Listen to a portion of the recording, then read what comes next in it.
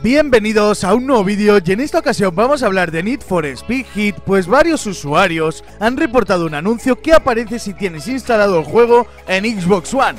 Así que sin más dilación, ¡comenzamos! Ayer, poco antes de irme a dormir, empezó a rondar una imagen por Twitter mostrando un anuncio que aparecía en Xbox One relacionado a Need for Speed Hit en el que ponía literalmente crossplay. Aún a la espera de recibir un comunicado oficial que imagino tras la filtración no tardará en llegar, parece que vamos a tener juego cruzado entre plataformas en Hit. Un añadido que, de ser completo, incluyendo también el tema de los vinilos y diseños en los coches, sería fantástico. Si doy por hecho de que esto va a llegar es porque varios seguidores me han reportado que también les ha parecido el mensaje, además de que el bueno de LP Riper también lo ha comprobado. Para quien no sepa quién es Riper, ¿qué decir? Quienes no lo conozcáis y sepáis inglés, también recomiendo su canal. Hoy en día es un amigo y normalmente hablamos de forma privada periódicamente. Es alguien que demuestra la misma pasión y cariño a esta saga como yo y tened por seguro que del mismo modo todo lo que suele decir es cierto. Ahora bien, la duda que aparece tras ver esto creo que es igual de importante. ¿Quiere decir que Need for Speed Heat tendrá más contenido?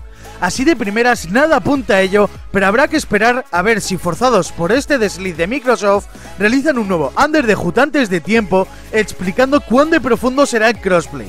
En lo personal, sigo manteniendo mi opinión de que no llegará nuevo contenido al juego. Por lo que sí, es una grandísima noticia que tengamos crossplay, pero al mismo tiempo hay que ser realistas y contemplar la posibilidad de que esto sería lo último que llegaría al mismo. Teniendo en cuenta los periodos de actualizaciones anteriores de juegos de esta generación, todos cesaron en añadir nuevo contenido sobre abril o junio. Así que no me pilla de sorpresa, ya entraría en los periodos habituales de esta generación.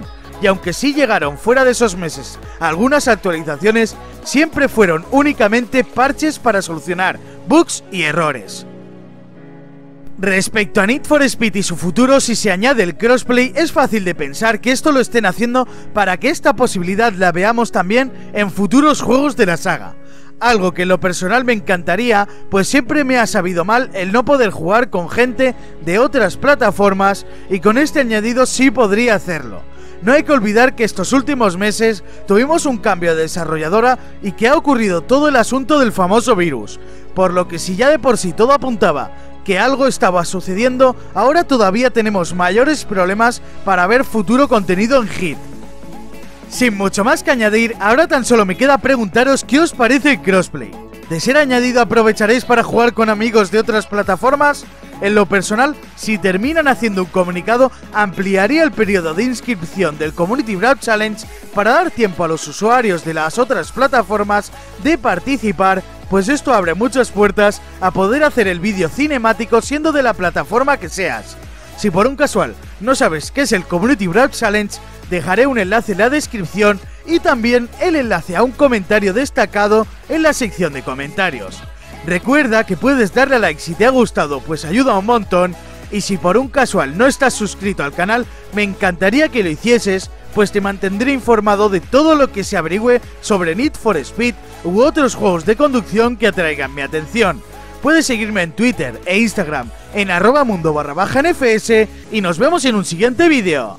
¡Adiós!